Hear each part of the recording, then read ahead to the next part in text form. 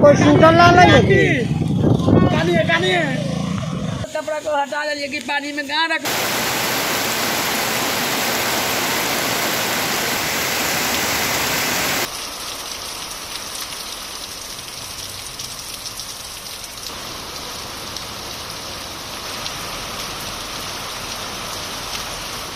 या साइक्लोन को लेके जो पहली बात है वो स्पष्ट कर दी गई कि या, या साइक्लोन कमज़ोर पड़ गया है वो साइक्लोन के फॉर्म में है ही नहीं। वो कमज़ोर पड़कर डिप्रेशन बना हुआ था और फर्दर कमज़ोर पड़कर वो लो प्रेशर एरिया कम दबाव के क्षेत्र में बन गया है। और राज्य पर जो इसका प्रभाव पड़ेगा, वो वही पड़ेगा जो किसी भी अन्य कम दबाव के क्षेत्र का पड़ता है। इस हिसाब से हमारा पूर्वानुमान है कि पूरे राज्य में सिर्फ़ हल्के से मध्यम स्तर की बारिश होगी। एक दो जगहों पर आइसोलेटेड जगहों पे कुछ भारी बारिश का पूर्वानुमान हमने दे रखा है चेतावनी दे रखी है।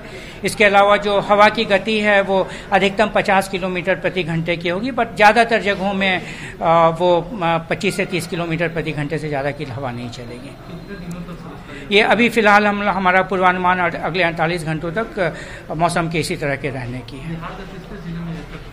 बिहार में मुख्यतः अभी चूँकि बहुत बड़ा सिस्टम है ये लार्ज स्केल का सिस्टम है, इसका प्रभाव पूरे राज्य में रहेगा।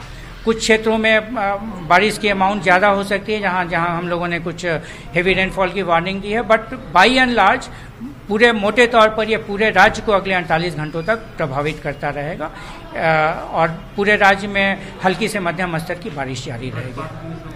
वज्रपात की संभावना मुख्यतः अभी के सिचुएशन में जो पूर्वी भाग हैं, उनके कुछ जिलों में हो सकती है वज्रपात।